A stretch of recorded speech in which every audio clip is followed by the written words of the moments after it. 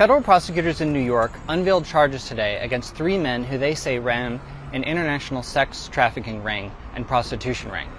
Former CEO of Abercrombie and Fitch, Michael Jeffries, Matthew Smith, and James Jacobson. Prosecutors say at least 15 men came forward, saying that over the span of a decade, Jeffries, his partner, and an employee had lured them to parties under false pretenses and forced them to perform sex acts that they did not want to perform.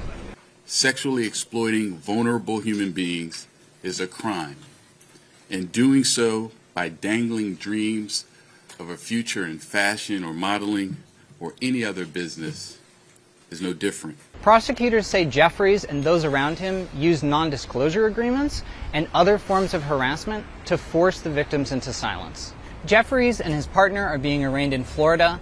The employee who faces charges is being arraigned in Minnesota. Prosecutors fear that Jeffries and his partner might flee the country. They're asking that Jeffries be held in a $10 million bail and that his partner, who's a dual citizen, be jailed until trial.